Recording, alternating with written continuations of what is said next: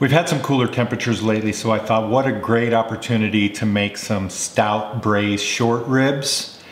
I'm also gonna do a risotto with asparagus tips and creamy Gruyere cheese.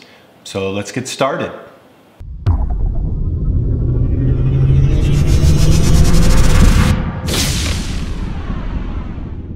All right, here's what we have for the short rib recipe. I have these great bone-in short ribs, which I season with salt and pepper. Uh, we're gonna add a little uh, beef base, about a tablespoon or so of chopped uh, garlic. We also have some chopped parsley, sea salt and pepper. These are some chopped carrots that I did and some onions. And I also have a dredging flour here. Uh, plus we also have the two bottles of the Guinness Stout beer with a little olive oil. And we're gonna go ahead and throw this all together. I have some seasoned dredging flour. Uh, it just has some smoked paprika, some salt, and some pepper. We're gonna go ahead and run our short ribs through this. What this is gonna do is help them get a nice sear when I first start them. And then they're also gonna help thicken the sauce just a bit.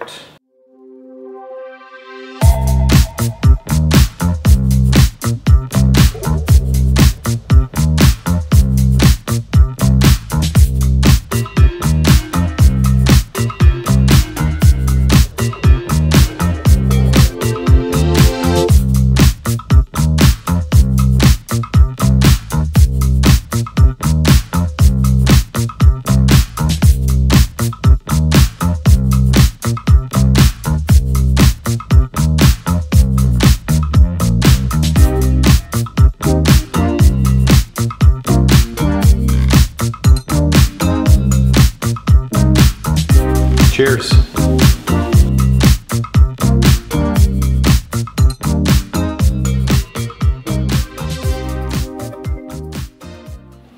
All right, let's have a look.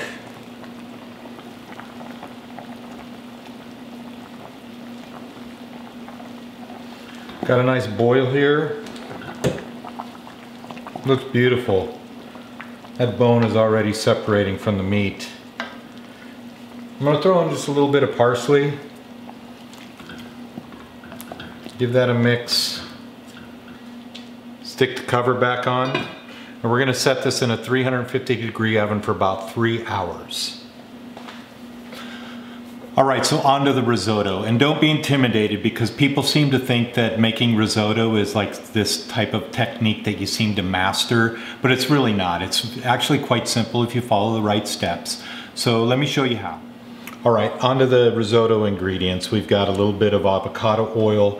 I have one and a half cups of arborio rice.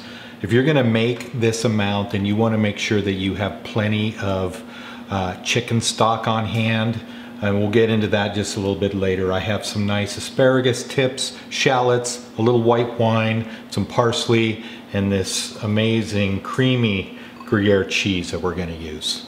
So let's get started. My rice is starting to brown. I'm gonna add a little salt and pepper. What's so easy about this is we've all made Rice-A-Roni, right? So the process is really the same. You uh, brown your rice in butter or oil uh, before you add your liquid. Same thing.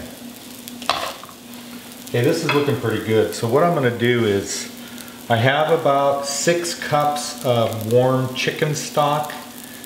Um, and earlier I said if you're gonna make one and a half cups of rice, you probably need about four and a half to five cups of this. So just make sure that you prepare at least six to seven cups. What I'm gonna do is I'm gonna start to add this stock one half cup at a time. During this process, I'm gonna let the rice completely absorb the liquid before I add more liquid. So you can see it's pretty much absorbed all of that already. And I want to stir this constantly in between uh, putting the liquid in here.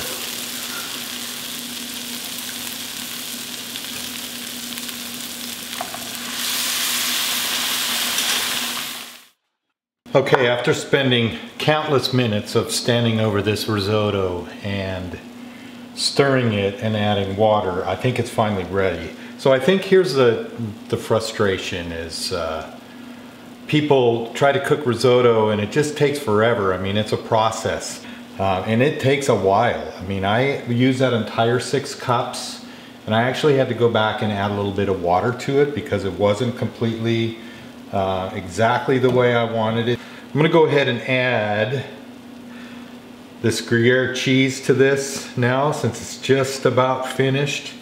And I'm gonna stir that in.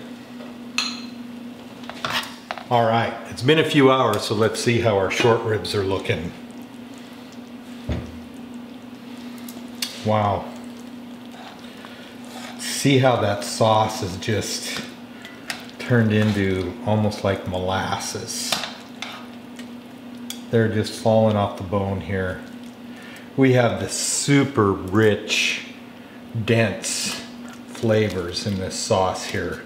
Beautiful. So let's take these in our risotto and let's put it on a plate.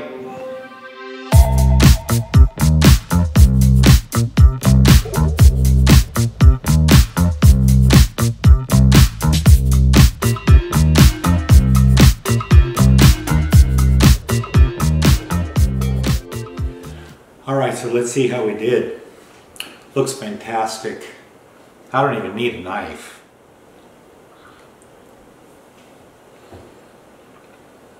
Mmm.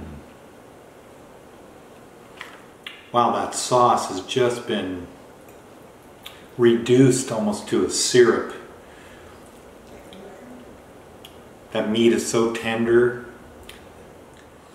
Amazing. That's how that one goes. Thanks for watching the video, everyone. If you like the content, please like, subscribe, share with your friends, and we can all go on this crazy journey together.